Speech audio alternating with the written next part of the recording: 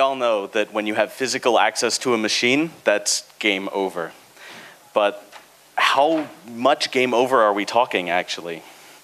Let's find out how completely defenseless Intel chipsets are when faced with USB. Here's Maxim Goriaki with Tapping into the Core. Let's give him a big round of applause. Wow.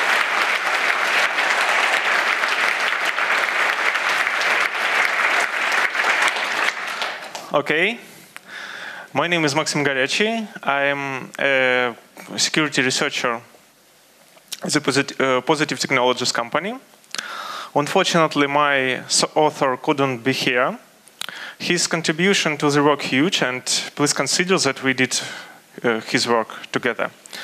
So, uh, I would like to cover the topic of hardware Trojan and uh, tell about one of the modern Intel CPU design features that can be used for this purpose. It's direct connect interface. Okay. Uh, as you can see from the slide, we are going uh, to review uh, the uh, debugging interface as a basis of uh, such Trojan on the modern Intel CPU. We are going to review uh, Direct Connect interface. It's uh, JTAG, uh, JTAG-like uh, interface and uh, his activation. And then I'm going to talk about several tips that can can you help to detect such attack. And so, a hardware Trojan is a malicious alternation of hardware that could, under specific um, specific condition, uh, result in functional changes the, uh, to the system. It can be inserted at, uh, at the time of manufacture, shipment, uh, and storage or use.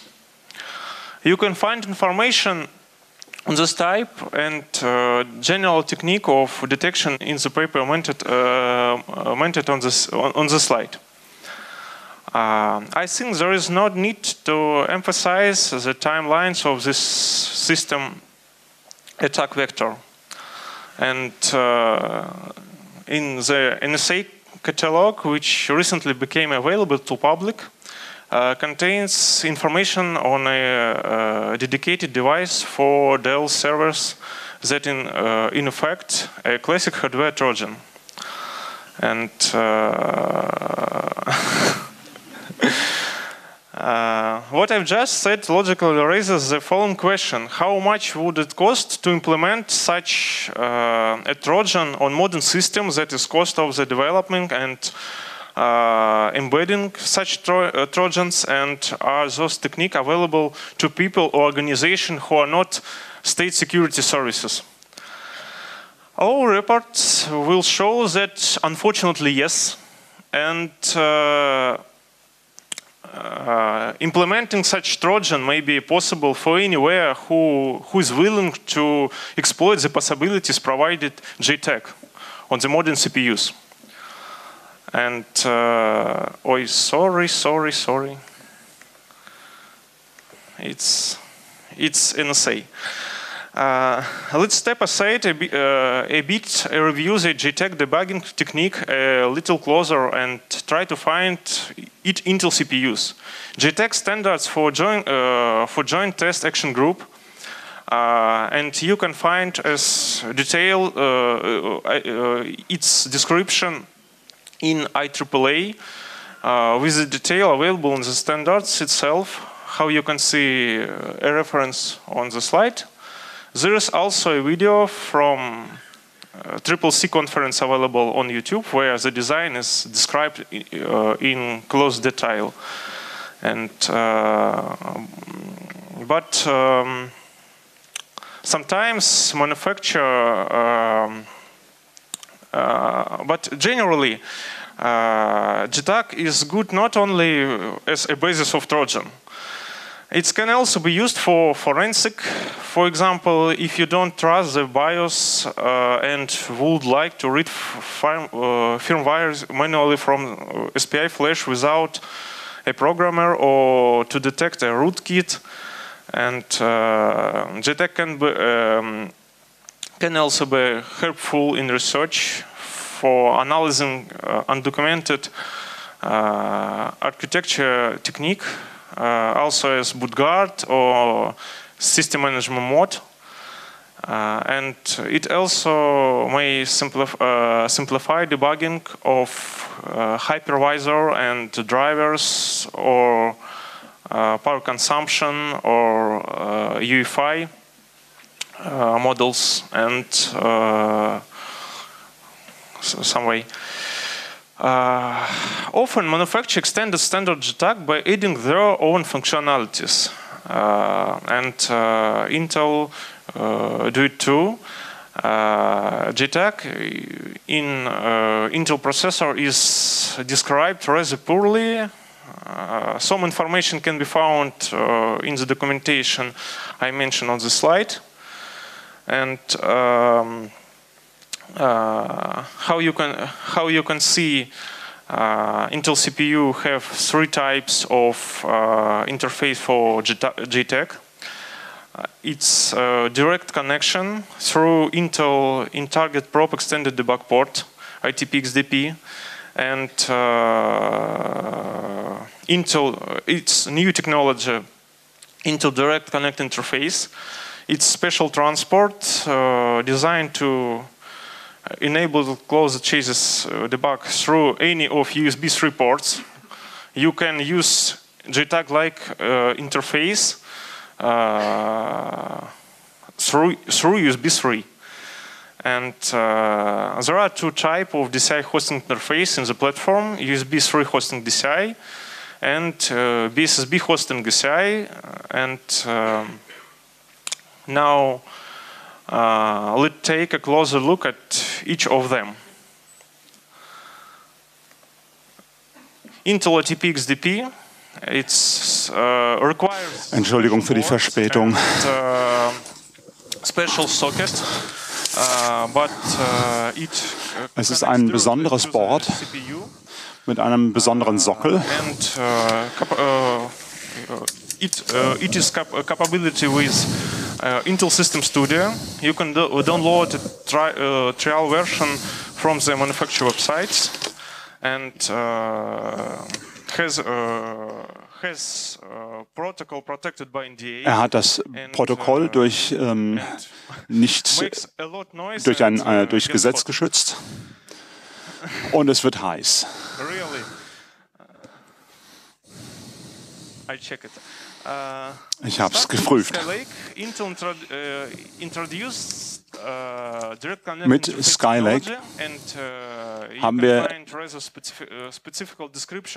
besondere, es gibt, man kann besondere Dokumentation in der, in der, in der Information in der Dokumentation finden. Es gibt zwei Arten von Anschluss, ein besonderes Gerät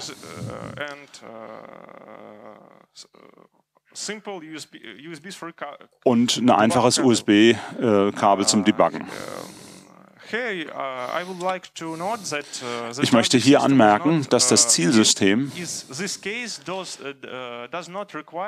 in diesem Fall keine Software- oder Hardware-Änderungen braucht. Man braucht nur ein Kabel oder diese besondere Box. Uh, okay, uh, diese Techn Technologie ist äh, unglücklicherweise, es, es funktioniert einfach so, ohne besondere Chipsets. Wir sollten jetzt einmal äh, jede äh, Verbindung genau anschauen at its, con uh, its connection diese uh, special, special device. Verbindung braucht ein uh, besonderes uh, Gerät. Also ein Intel Adapter SVT SCCA oder BSSB, ah, da steht's. Uh, Und das hat ein, ein besonderes DFX-Feature.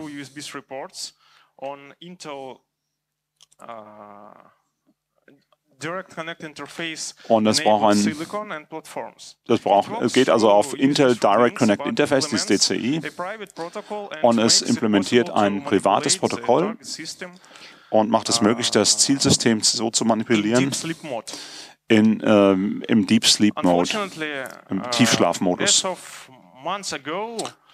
Ähm, unglücklicherweise sind seit einigen Monaten diese Adapter SW TCCA und, äh, und andere nur verfügbar, nachdem man ein NDA unterschreibt. Aber das macht nichts. Weil wir ein spezielles, ein besonderes Gerät haben. Hier seht ihr es. Uh, Dieses USB-Hosting DCI ist ein Debugging-Kabel, das als ein OTG-Gerät funktioniert. Dieses Gerät bekommt von dem Host eine Aktivierung. Hier, guckt, so schaut es aus. Es ist ein Gerät. Uh, das ist das Motherboard. And uh, commands are sent uh, to this device through a common USB interface. The device itself is integrated into Die Kommandos werden durch ein USB-Interface geschickt. And, uh, it transforms the command into JTAG. Es übersetzt das äh, nach JTAG.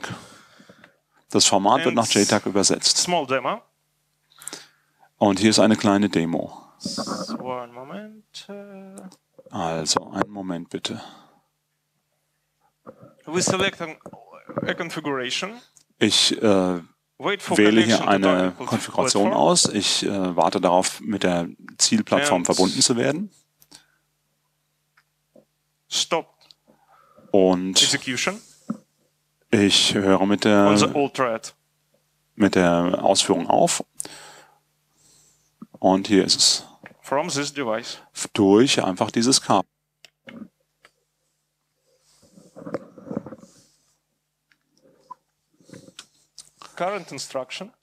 Die, die aktuelle, äh, der aktuelle Befehl. Special Messer.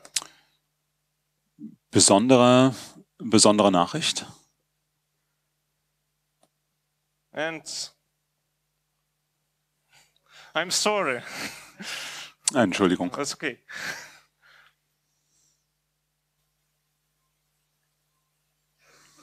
One step. Okay. Einen Schritt.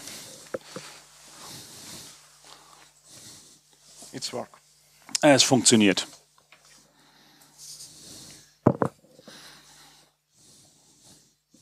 Okay. Demo ist end. Alles klar. Ja, Mensch, äh, die Demo hat funktioniert.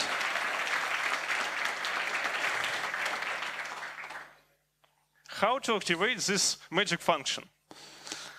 Wie haben wir diese magische Funktion hingekriegt? Es gibt mehrere Möglichkeiten, das zu tun. UEFI Human Interface Infrastruktur, also und äh, ein besonderes P2SB-Gerät. Hier sind die Details. Ja. Diese Infrastruktur, diese UEFI-Infrastruktur, ist eine, ein besonderes Interface, das es ermöglicht, eine, eine Benutzer, ein Benutzereingabegerät im UEFI zu erzeugen. Wenn wir schauen, wie das moderne UEFI-BIOS funktioniert, dann finden wir eine ganze Menge versteckte Optionen, die dem Benutzer nicht äh, zugänglich sind, aber vom BIOS verarbeitet werden. Die Basis für diese Technik UEFI uh, Human Interface Infrastructure. Also diese Human Interface Infrastructure, also die UEFI Human Interface Infrastructure, uh, die verarbeitet alle Optionen, auch die versteckten. Und die sind zu dem DSI verbunden. Es kann, durch, äh, es kann mit seinen Defaults aktiviert werden. Das sind besondere versteckte Optionen. in, uh, UEFI uh, indefines uh, default value. Und das UEFI, das gibt einen äh, Standardwert vor. Und wenn das, man kann das BIOS zurücksetzen auf das Standard BIOS Interface. Und dann haben wir ein funktionierendes DSI. The edited image is uh, programmed into SPI Flash by a programmer. In das SPI Flash ist das durch einen Programmierer oder durch den Standard, durch das Standard äh, BIOS Firmware Tool, wenn man die Privilegien hat, äh, reingeschrieben. Und die Einstellungen können geändert werden mit einem BIOS-Konfigurationsprogramm. It's free. Es ist umsonst. Das kann man einfach runterladen. And uh, uh, but uh, if bootguard is running, aber wenn this, this technique diese, diese Technik, wenn diese Technik nicht funktioniert, das System bootet nicht. Weil dieses Tool das UEFI-Modell verändert hat. So, dann die nächste Möglichkeit ist äh, der PCH, das PCH-Band und darüber kann man es aktiviert werden. Mit der PCH-Konfiguration kann das angeschaltet werden. In der Flash Descriptor Region. Oder man kann mit, mit einem speziellen Tool äh, das Image reinflashen. Also es ist ein BIOS-Tool. Diese Technik, diese, diese Methode funktioniert, auch wenn das aktiviert ist. Und das dritte, was man probieren kann, ist, das durch ein P2SB-Gerät zu aktivieren. In der Dokumentation für die verschiedenen Generationen äh, des PCH kann man die Dokumentation finden. Also links was übrig ist von der siebten Generation. Daten für die On-the-Fly-Aktivierung äh, kann darin gefunden werden, wenn das vom BIOS nicht blockiert ist. Es gibt eine Menge Motherboards, auf denen das für mich funktioniert hat.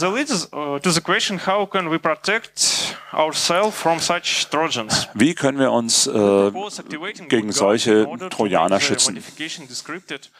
Also wir schlagen den Bootguard vor. And uh, then you can check the DCI enable bit dann kann man dieses DCI Enable Bit, äh, Anschaltbit äh, prüfen. In, uh, in this case, uh, DCI may be enabled, but execution cannot be stopped. Uh, die sagen vielleicht ähm, im BIOS bei dem MSR, dass es abgeschaltet ist, aber die, aber die, äh, die Ausführung kann nicht gestoppt werden. You can uh, see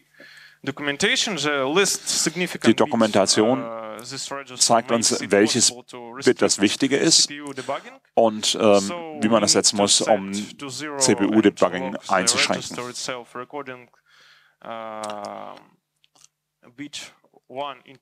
Also man muss Bit 1 in das, äh, in, äh, man muss 1 in das äh, besondere Feld reinschreiben. Und das kann helfen, die Plattform zu schützen die Laptops zu schützen. New age of BTUSB. You can uh, find or uh, make special device. Man kann ein besonderes Gerät bauen, which uh,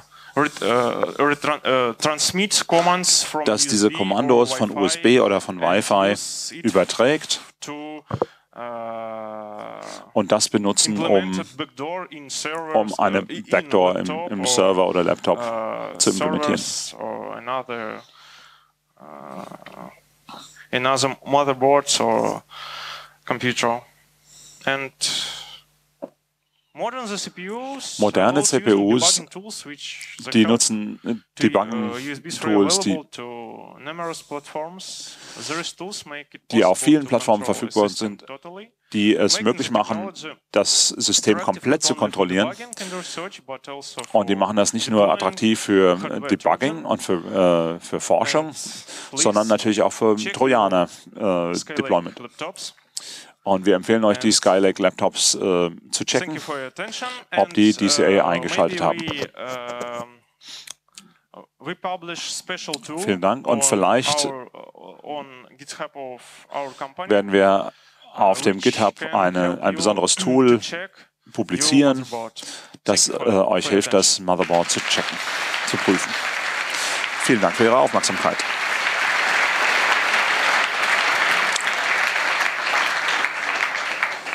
Spasibo, Maxim. So, questions. Fragen. Any, any questions for Maxim about Fragen für Maxim over USB? für JTAG over USB. See one already here in the front.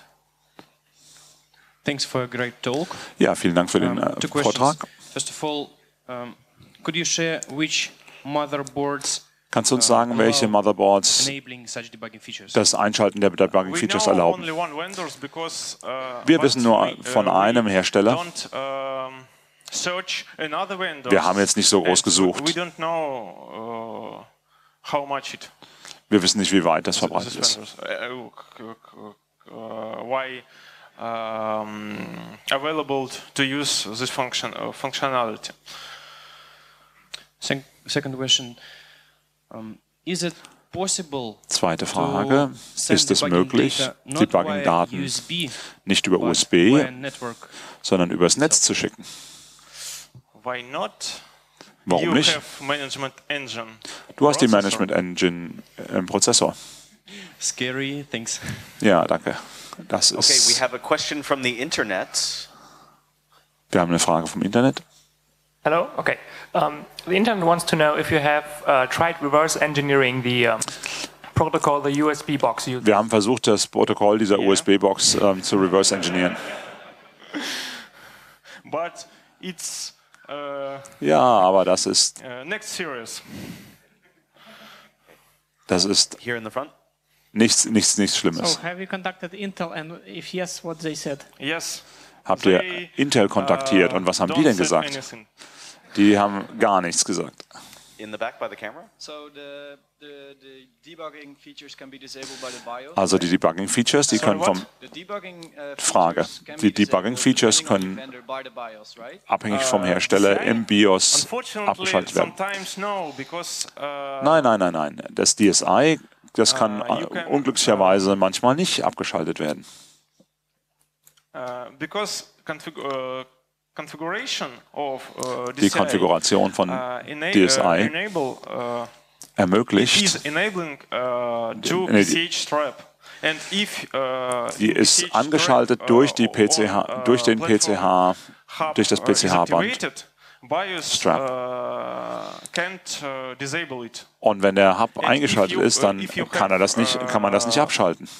DCI, you always uh,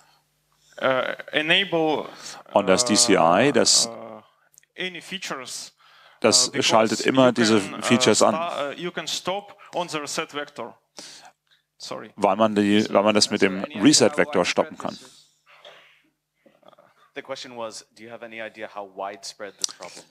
Hast du irgendeine Ahnung, wie, wie weit verbreitet dieses Problem ist? Ich weiß es uh, nicht genau. Ich denke, uh, Intel uh, implemented special, Dass uh, Intel special technique, eine which, besondere Technik ähm, implementiert hat mit Krypto. Aber jetzt nutzen sie es nicht. I, I think that uh, maybe in next generation he Vielleicht, vielleicht in der nächsten Generation wird es angeschaltet. have another question from the internet.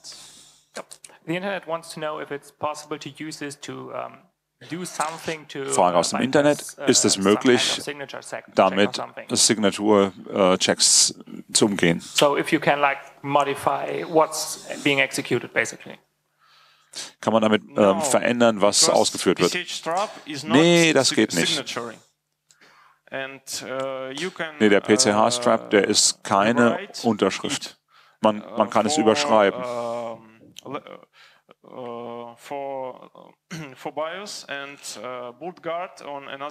BIOS und Bootguard sehen, sehen das nicht. Is there a follow-up question from the internet? Uh, yeah, there's a different question that is, um, uh, people want to know if and where Das they can Internet get will noch and wissen, more about your wo man research. die Slides bekommen kann und wo man mehr über die, Uh, eure know Forschung lesen kann. And where they can get the slides and read more about your research. In my email. Ja, in meiner E-Mail. okay, write me. I I asked about. I tell about it. Ich schreibe äh, euch zurück. Yeah, thanks for the talk. Um, Vielen Dank. Nächste Frage. on Platforms prior to Skylake, let's say Hast du auf alten? Plattformen vor Skylake äh, geforscht, so zum Beispiel auf ähm, Haswell? Haswell uh, has uh, Ja, Haswell hat ähnliche- hat die gleiche uh, DCI Methode, uh, aber unglücklicherweise Hardware technique. Ist Uh, DCI eine in Haswell, Hardware-Technik? In Haswell. Ach nee, in Haswell uh, ist es eine and, Softwaretechnik.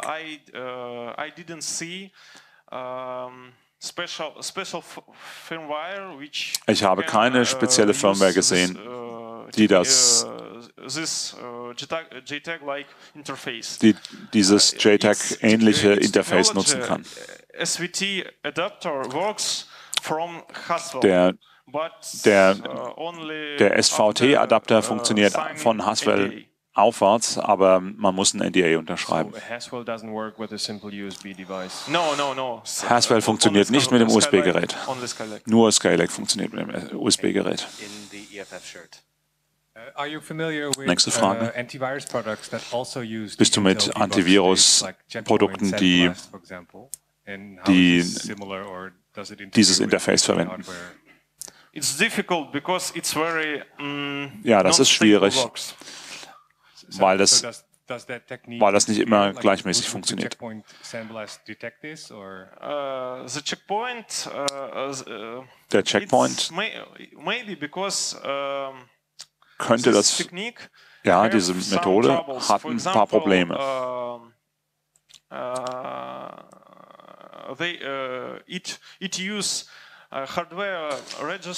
Diese Methode nutzt Hardware-Register uh, und du kannst le- äh, lesen, die Adresse auslesen. Uh, uh, Und du kannst uh, uh, den Speicher verändern. uh, this uh, SVT or USB uh, Der SVT oder uh, USB. Uh, and, uh, Oder- it's, it's Ah, okay, man kann den- uh, den Speicher uh, verändern, der uh, von einem JTAG-Gerät maybe you verwendet wird. it, Vielleicht kann man es verwenden, aber man kann es detektieren von not, innen not good sometimes. und es ist nicht so We gut. have time for about three more. Did you have a follow-up? No? Okay, then in the front. Hier noch eine Is it- Frage. Is it, uh, tracing uh, capabilities in, uh, um, possible to, well, is it possible to trace code and Ist es Möglichkeit, den, Yes. den Code Yes. zu tracen? Yes, yes, yes. und den Speicher you zu lesen? Das heißt, du kannst alle, alle Prozeduren lesen. Uh, you, uh, Can you, you, can you actually can you use this technique to write SMM vectors? You can, uh, you can uh, use Kann man diese hardware Methode breakpoints verwenden, um SMM-Vektoren zu überschreiben. on the re- Man kann. Hardware-Breakpoints auf spe speziellen these Registern breakpoints verwenden, uh, um auf diesen uh, Breakpoints zu lesen. Aber diese, diese Breakpoints uh, memory, ähm, which, sind nicht in der Lage, den Speicher zu locken. which use uh, to system management mode, for example, and so read it- System. Management Mode We're doing, kann, we're doing it. Yeah. kann man damit Okay, in the back right. auch lesen. So um, the protocol, as you said, is uh, protected under N- NDA. Are you aware of any like Das Protokoll ist-? Yes, Das Protokoll ist, das Protokoll ist geschützt durch NDA. Gibt es irgendwelche offene Research dazu? really need For besondere, uh, Also man braucht für SVT which, einen uh, besonderen Adapter? uh, Und es ist ein besonderes Protokoll. signal of USB 3, but it's, it's not Das USB 3. Sig Signal uh, von USB 3 it's, uh, wird genutzt, ist aber kein USB USB 3. Protocol And uh, y- yes, Und es- Man kann ein Programm uh, schreiben, target target system. das das Target-System traced. Okay, and last one in the back. Um, is it like JTAG compatible in such a way Ist es kompatibel mit JTAG? or is this some Hat es eine Scan-Chain? this DCI protocol? Oder ist es ähm, das DCI, DCI-Protokoll? uh, I know. Uh, I think that DCI is special device which uh, retranslated uh, DSI ist ein besonderes Gerät und dieses Gerät uh, übersetzt die to Kommandos von JTAG USB zu, JTAG in die tabs. Yeah, JTAG-Tabs. right? So it's like toggling the JTAG signals? Yeah, yeah, th- yes. Es, es ändert die JTAG-Signale. And is there any chance to put this support into OpenOCD or such open source Gibt es die? Möglichkeit, das in OpenOCD reinzutun oder in Open Source Software reinzutun? Ja, vielleicht in der Zukunft. Let's put our hands together for Maxim one more time. Vielen Dank.